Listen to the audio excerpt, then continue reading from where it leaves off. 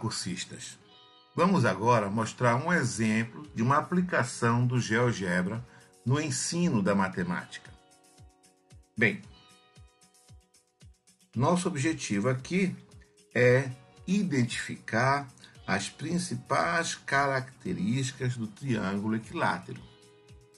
Para isso, após nós abrirmos o GeoGebra, e como eu quero falar de geometria plana, seria interessante que no meu palco, essa área aqui, é o palco, nós não tivéssemos nem a malha quadriculada, nem tampouco o plano cartesiano. E aí você me pergunta, como é que eu faço para tirar isso? Fácil. Botão direito. E aqui você veja que está marcado eixos e malha. Vou desmarcar eixos. Sumiu os eixos. Agora vou desmarcar malha. Sumiu a malha. E vou começar. O primeiro passo é, com a ferramenta segmento, trace o segmento AB. Então vou bem aqui, dou um clique onde tem a reta e procuro a ferramenta segmento. O primeiro clique gera o ponto A, o segundo clique gera o ponto B. Vejam, aqui eu tenho o segmento AB que ele chamou de F. Olha, o segmento AB que ele chamou de F, mede 4,98, daqui o ponto A e daqui o ponto B. Se eu quero ter a ferramenta mover, ou eu vou direto e clico aqui, ou eu aperto ESC. Toda vez que eu aperto ESC, eu vou para a ferramenta mover. Bem, segundo passo. O segundo passo diz assim: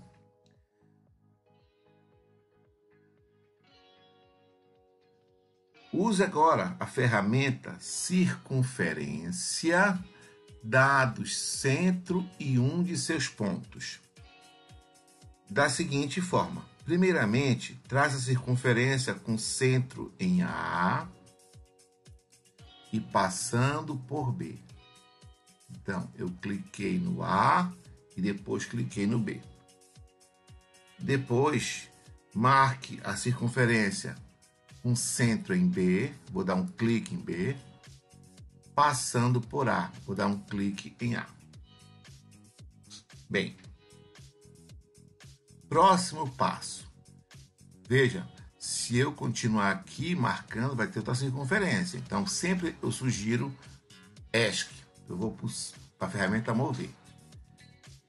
Vamos agora pegar a ferramenta interseção de dois objetos clica na primeira circunferência, clica na segunda circunferência e assim gera os pontos C e D.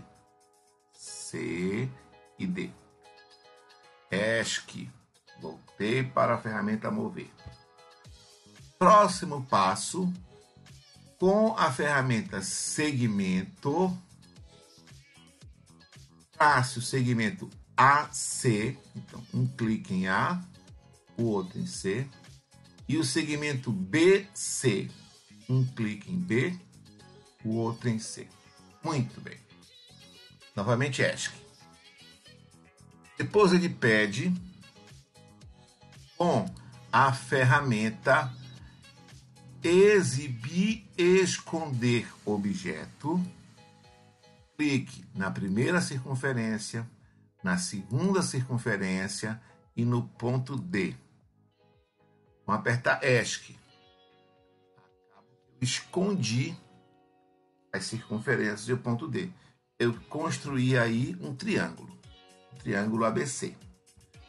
Próximo passo, com a ferramenta distância, comprimento, perímetro, clique no segmento AB no segmento AC e no segmento CB.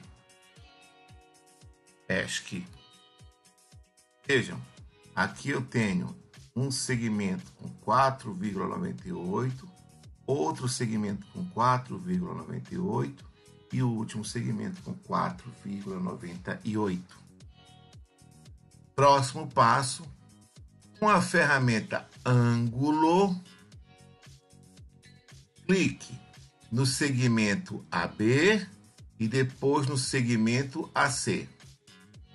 Apareceu um ângulo.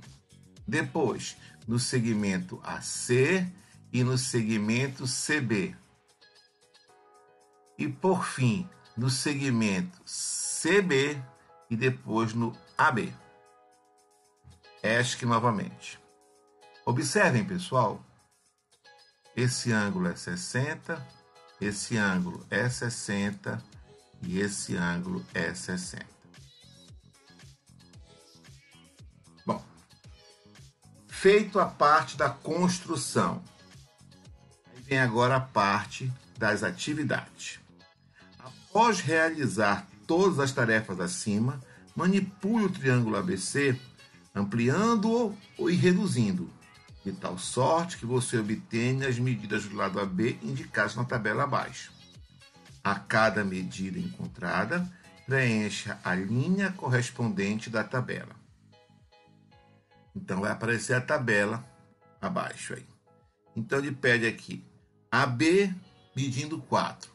Então eu vou pegar, estou com a ferramenta mover, clico no B e vou diminuindo até encontrar o valor 4.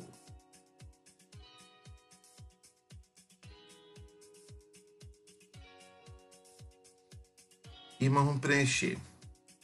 O AB é 4. O BC, nós vimos bem aqui, o BC também é 4. O AC ou CA também é 4. A medida do ângulo BAC, 60. Do ACB, 60. E do CBA, 60. Preenchemos a primeira linha. Agora ele quer que a B meça 5. Vamos aumentar até nós encontrarmos 5. 5. E eu vou ver aqui as medidas. Lado AB, 5. Lado AC, também 5. Lado CB, também 5. Ângulos. Vimos agora que também, como no anterior, todos os ângulos medem 60. Agora ele pede que eu ache a medida do lado AB igual a 6. Nós temos todos os lados medindo 6, vamos preencher na tabela, e todos os ângulos medindo 60. Depois ele pede os lados medindo 7. Temos todos os lados medem 7 e todos os ângulos medem 60. Agora ele pediu 8.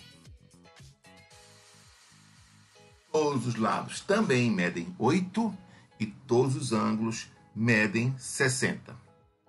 Após o aluno ter manipulado, vem a pergunta para ele: O que você percebeu quanto às medidas dos lados desse triângulo quando ampliamos ou reduzimos a imagem? Nós esperamos que o aluno, ao manipular isso aí, compreenda que os lados continuam congruentes, ou seja, os lados têm medidas iguais. O que você percebeu agora quanto à medida dos ângulos internos desse triângulo quando ampliamos ou reduzimos a imagem? A esperança é que o aluno consiga compreender que, desde que os lados sejam congruentes, os ângulos são sempre medindo 60 graus cada. Terceira pergunta: como se pode classificar o triângulo quanto à medida de seus ângulos? Obviamente, o aluno pode dizer que é um triângulo acutângulo, já que os três ângulos são agudos. É interessante que nós, professores, pensemos em refinar ainda mais nessa resposta. Além do triângulo ser um triângulo acutângulo, os ângulos são iguais, então nós poderíamos também chamá-lo de um triângulo equiângulo. Equi, mesmo, ângulo, mesmo ângulo é um triângulo com ângulos congruentes. Defina agora O que é um triângulo equilátero? A esperança é que o aluno consiga compreender que o triângulo equilátero é aquele que possui três lados congruentes. E por consequência, a definição é básica, três lados congruentes, mas como consequência, todo triângulo equilátero é também um triângulo equiângulo, pois os ângulos internos medem 60 graus. Bem, a geometria vista pelo GeoGebra proporciona que o aluno manipule, que ele chegue às conclusões. Tá aí o nosso exemplo. Até uma outra vez. Um abraço.